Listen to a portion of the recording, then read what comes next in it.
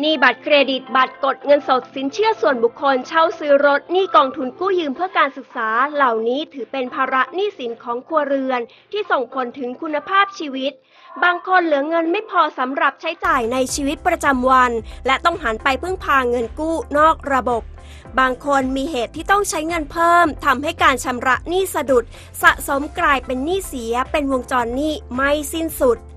รัฐบาลต้องการให้มีการแก้ปัญหาอย่างจริงจัง เพื่อให้ประชาชนมีชีวิตที่มีคุณภาพ โดยประกาศให้ปี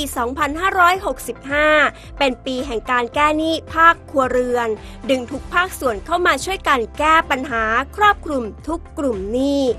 ทำให้นี้กองทุนกู้ยืมเพื่อการศึกษาหรือกยศ มีผู้ยื่นขอปรับโครงสร้างนี้แล้ว 340,000 ราย จากผู้มีสิทธิ์ยื่น 2 ล้านรายนี้ข้าราชการครูและข้าราชการตำรวจ แก้ไขสำเร็จแล้ว 64%โดยแก้ไขหนี้ตำรวจสำเร็จ 6,145 ราย ส่วนหนี้ครูธนาคารออมสินได้ลดดอกเบี้ยเงินกู้ในทุกโครงการเหลือไม่เกิน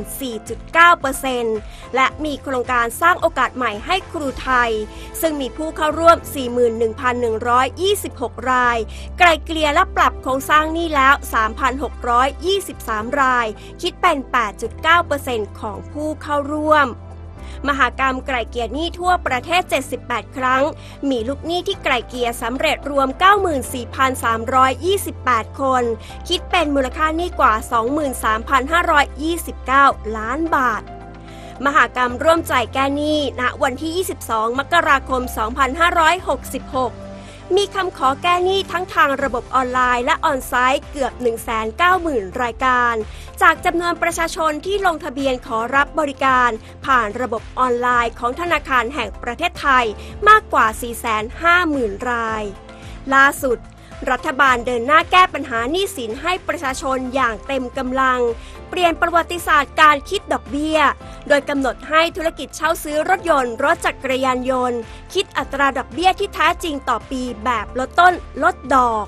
ซึ่งจะต้องคิดดอกเบี้ยจากเงินต้นคงเหลือในแต่ละงวด ไม่ใช่คิดดอกเบี้ยแบบเงินต้นคงที่แบบเดิม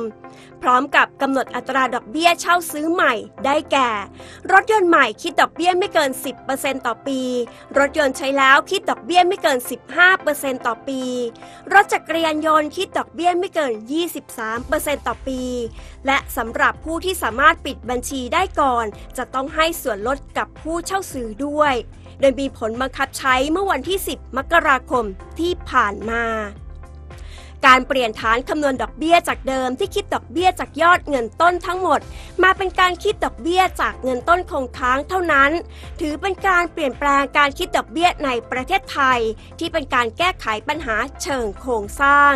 ซึ่งจะเป็นประโยชน์ต่อประชาชนให้มีกำลังในการชำระหนี้ หรือมีเงินเหลือใช้จ่ายเพิ่มขึ้นจากดอกเบี้ยที่ลดลง และเป็นแรงจูงใจที่จะทำให้มีการปลดหนี้ได้เร็วขึ้น